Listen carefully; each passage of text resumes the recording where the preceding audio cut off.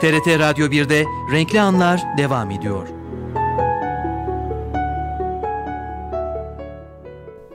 Son konuklarımızla birlikteyiz sevgili dinleyiciler. İnternet yayıncılığını konuşacağız bugün sanal dünya gezintimizde. Her zaman olduğu gibi internet pazarlama danışmanı ve Kültür Üniversitesi öğretim görevlisi Aytaç Mesci bizimle. Hoş geldiniz. Sağ olun, hoş bulduk. Ve konuklarıyla geldi Sayın Mesci stüdyomuza.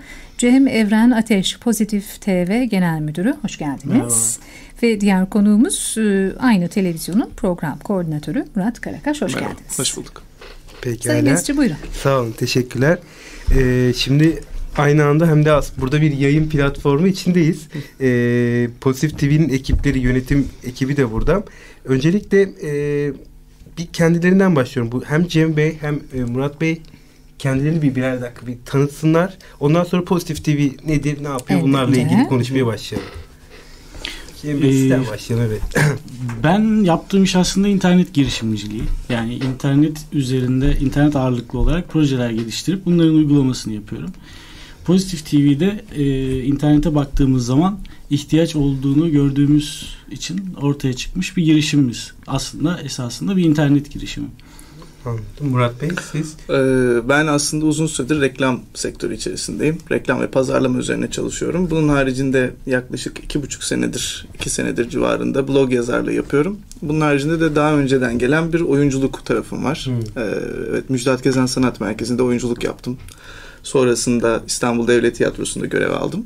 Ee, şu anda da işte Pozitif TV içerisinde hem program koordinatörlüğü hem de e, bir projemiz var. Orada da oyuncu olarak yer alıyorum.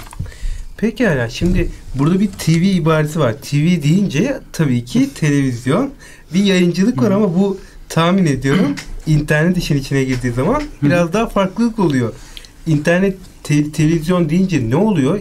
İnternet yayıncılığı gibi bir kavram var. İnternet Evet. yayıncılığı nedir? Ee, internet yayıncılığı tabii şu çok büyük bir faktör oldu bizim için. İnternetin hayatımıza girmesiyle internet üzerinden insanlara ulaşmak çok kolaylaştı. Yani önceden bir televizyon kurmanın, radyo kurmanın maliyetleri korkunçken internet üzerinden rahat bir şekilde artık e, insanlara ulaşabiliyoruz. Tek bir faktör var normal televizyonlarla kıyasladığımız zaman internetten seyredilebileceğini düşünüp ona göre hazırlamak gerekiyor programları. Bu sebeple biraz daha kısa tutmaya çalışıyoruz. Mesela e, Menemen dizimizin süresi 2,5-3 dakika civarında minik minik diziler şeklinde gidiyor. Peki şimdi tabii ki televizyonu açtığın zaman dedeler de ufak çocuklar da seyrediyor. Hı hı. Demek ki hedef kitlede bir farklılık var. Evet. O da her hedef kitleye yönelik bir yayın çalışması mı yapıyoruz demek istiyorsunuz? Herkese hedefleyemiyoruz şu aşamada ama internetin yaygınlaşmasıyla e, örneğin e, geçmiş dönemde internet ilk hayatımıza girdiği zaman daha çok teknolojiyle ilgili insanlar internet kullanıyordu. Şimdi yavaş yavaş kadınlar internette ağırlıklarını göstermeye başladı. Biz de ona göre kadın programlarını bünyemize dahil edip onlarla ilgili çalışmalar yapmaya başladık. Yakında dedelere de sıra gelecek. Gelecek, gelecek. Tabii ki ya hedef kullanıcı sektörüne göre. Peki siz Pozitif TV'yi nasıl kurdunuz? Nasıl başladı bu iş? Hadi, hadi yoldan geçerken bir demediniz diye düşünüyorum. Ee, tabii şimdi medya alanında bir şeyler yapmak insanlara insanlar için içerik üretmek e, hani önceden gelen bir hayaldi öyle söyleyeyim. Ee, şimdi yine teknolojinin gelişmesiyle ilerlemesiyle baktığımız zaman artık altyapı buna müsait hale geldi. Biz de hadi yapalım Hmm. demiş olduk. Ee, peki bunu neden soruyorum aslında? Bunu sormamın sebebi açıkçası tamam televizyon kuralım bir sunucusu bir, bir oldukça normal televizyona nazaran bir maliyeti gene var ama Hı hı. bunun için bir gelir modeli oluşturmanız gerekiyor. Hı hı. Buradaki gelir modelini düşünürken o yüzden sordum açıkçası bunu oluştururken neleri düşünüyorsunuz? Hı hı. Gelir modeli nasıl olmalı? Şimdi e, her şeyden önce içerik e, üretiyoruz. Yani Pozitif TV aslında bir içerik üreticisi.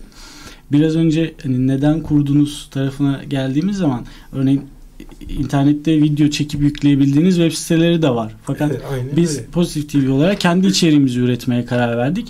Bu noktada da e, ülkemizde içerik üretimi az olduğu için biz bu yola çıktık. Gelir modeline de- baktığımız zaman internet işin içine girdiği zaman çok fazla e, etkileşimden kullanıcılarla e, etkileşimden faydalanabiliyorsunuz. İçerik çok güzel yayılabiliyor internet üzerinde sizin ekstradan çaba sarf etmenize gerek kalmadan. Dolayısıyla gelir modeli reklam. E, fakat farklı reklam kurguları üzerinde çalışıyoruz. Televizyonda ya da şu anda e, internet üzerinde gördüğümüz tarzda reklamlara mümkün mertebe Evet, kaçınmaya çalışıyoruz. Benim en rahatsız e, olduğum şeylerden bir tanesi reklamlar arasında dizileri seyretmek. Evet. E, şimdi e, bundan rahatsız olduğum için siz burada farklı bir reklam modeli mi öneriyorsunuz? Evet. Yani şu anda onun üzerinde çalışmalar devam ediyor. Anlatması çok uzun bunun nasıl işleyeceğini ama yaptığımız zaman hep beraber görürüz. Anlıyorum. Ama burada e, bir şey belirtmek istiyorum. Bu sizin rahatsız olduğunuz konudan sanıyorum bütün izleyiciler rahatsız Evet. ya da dinleyiciler herkes, tabii, aynı tabii. şekilde radyoda da reklamlar söz konusu. E, izleyen ve dinleyen bu kadar rahatsızsa niye bu kadar reklam var? Ben de onu hala Ama çözemiyorum. yayın kuruluşları da hayatta kalmak zorunda. Tabii öyle. E, ki. zorunda ama acaba istenilen e, oranda izleniyor ya da dinleniyor mu o reklamlar? Bunun daha önceden aslında belli kuralları vardı. Hani bu konuyla ilgili belli düzenlemeler yapıldı ama o düzenlemeler nasıl olduysa böyle devamlı bir değişkenlik gösteriyor. Ee, bazen aslında o bizi şaşırtıyor. Yani ben hala televizyon dizilerine oturup da böyle doya doya başından sonuna kadar hiç seyredemiyorum. E, ama yani internette şunu biliyoruz.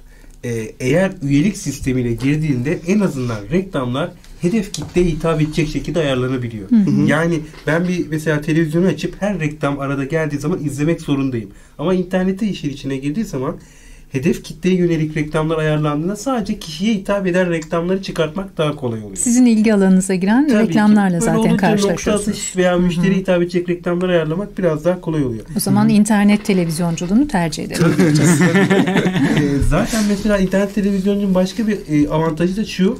e, eğer normalde bir aracı bir aletiniz yoksa tabii kaydedemiyorsunuz ama internette en azından bunu bir canlı yayın sonrası tekrar seyretme şansınız da olabiliyor. Tabii. Peki burada içerikleri oluşturuyorum dediniz. İçerikleri nasıl oluşturuyorsunuz? Burada hani e, konuları nasıl seçiyorsunuz? Yani bu önemli bir nokta. Ee, şeyden girelim isterseniz. Biraz önce bahsettiğiniz içeriği istediğimiz zaman izleyebiliyoruzdan girelim. Ee, Pozitif TV'de iki farklı yayın formatı var. Bir tanesi tıkla ve izle ya da, ya da daha doğrusu istediğiniz zaman izleyebileceğiniz formatlar var. Ee, bir tanesi de e, etkinliklerde bunu kullanıyoruz. Canlı yayın. Etkinlik alanında işte e, kameralar ve teknik ekipman. Direkt internetten canlı. Tabii tabii internet üzerinden e, pozitiftv.com üzerinden e, canlı yayını ulaştırıyoruz izleyicilerimize. Daha sonra canlı yayındaki üretilmiş içeriği yine istediğin zaman izlenebilecek tıkla izle formatında yayınlamaya devam Tabii ediyoruz. bu da bir avantaj. Çünkü mesela bir etkinlik yapıyor. Bu etkinliğe kişiler gidemeyebiliyor. Vakti olmuyor veya sınırlı bir katılım olabiliyor. E böyle olunca bazıları da bunu hala seyretmek ve o an seyretmek istiyorsa internetten yayın avantajlı hale gelebiliyor. Şöyle güzel bir yanımız var. E, Yayın saati derdimiz yok. Hani prime time'ımız yok mesela. Sizin için prime time ne zamansa o zaman girip izleyebilirsiniz. Evet. E, peki e, buradaki içerikler sadece sizin içerikleriniz mi? Hiç dışarıdan gelen içerikleriniz var mı? Ee, şöyle içeriklerin büyük çoğunluğu bizim prodüksiyon ekibimiz tarafından üretiliyor. Tamamen bizim tarafımızdan planlanıyor. Ee, dışarıdan gelen içerikler de var fakat o içerikler de yine sadece bizim için üretilmiş içerikler. Yani program yapmak isteyen kişilerle ya da yapım e, yapacak olan kişilerle anlaşıp sizin için Yani içerik benim anladığım üretelim diyorlar. Genel sektörde aslında bilinen özellikle internet sektöründen bahsediyoruz. Burada bilinen kişiler gene Pozitif TV'nin herhangi bir Hı hı. filminde ya konuk sanatçı olarak mı alıyorsunuz? Yo Yoksa direkt kendi programlarını kendi- yapan kişiler Ha. var. Tıpkı televizyon dünyasında Tabii, yapım tabii. şirketlerine Aynen dizi öyle. çektirilmesi, yaptırılması. gibi. Ama burada şöyle bir farklılık daha var. Mesela atıyorum sizin çok katılmak istediğiniz bir teknoloji konferansı var. Ee, eğer Pozitif TV herhangi bir şekilde burasıyla bir bağlantı kurduysa ve onlara bir destek veriyorsa veya onların yarattığı içeriği yayınlayabilir durumdaysa biz yine ekip olarak orada sistemimizi kurup bu konferansı baştan sona kadar çekip daha sonrasında kullanıcılarımıza ulaştırabiliyoruz. Ee, bunun bazı örnekleri var internet sitemizden bakıldığında görülebilir. Ee, ilgilendiğiniz konuyla ilgili de bazen bir konferansa gitmek istediniz ama şehir dışındasınız, işiniz var, katılamadınız. Oradan girip izleyebiliyorsunuz. Bu da ayrı bir güzelliği aslında. Pekala e, biraz buradan sizden yaptıklarınızdan bahsettik. Bir e, önemli bir noktayı aslında söylemeyi unuttuk. İnternet Pozitif TV'ye nasıl ulaşıyorlar? Hangi adresi kullanmaları lazım? Bu kadar Biz bir telefon numarası veriyoruz orada. e, Ee, Görüntülü telefon değil mi? Tabii oradan seyrettiriyoruz. Pozitiftv.com e, asıl internet adresimiz fakat dedim ya internet televizyonculuğu diye. Ee, insanlar bize farklı sitelerin içerisinden de ulaşabilirler. Ee, en çok izlendiğimiz yer mesela Facebook. Facebook üzerinden çok fazla izleniyor. Çünkü Facebook'un paylaşım e, butonu sayesinde insanlar içeriğimiz paylaşılıyor ve Facebook üzerinden izleyebiliyorlar. Tabii e, paylaşıp düğmeleri koymak e, mümkün oluyor. Hı. Paylaşım düğmeleri üzer- üzerinden paylaşmak çok kolay oluyor. Şimdi bu noktadan itibaren e, Pozitif TV'nin yaptığı bir projeden bahsetmek istiyorum.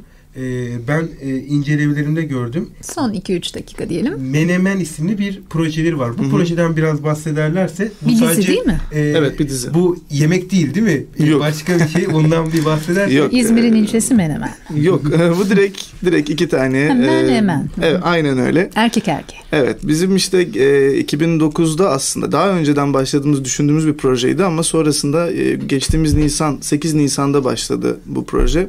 E, bir holding bünyesinde çalışan iki tane call center çalışanı olan e, genç iki arkadaşın birbirleri arasında geçen maceraları hem müşterilerle hem kendi aralarında hem kız arkadaşlarıyla veya günlük işleriyle alakalı. E, yaşadıkları küçük e, böyle de- az önce Cem Bey'in anlattığı gibi 2-3 dakikalık küçük skeçler halinde yayınlanan bir program oldu bu. E, şu anda ikinci ayı bitiyor. 10. bölümümüz yayınlandı geçtiğimiz perşembe günü.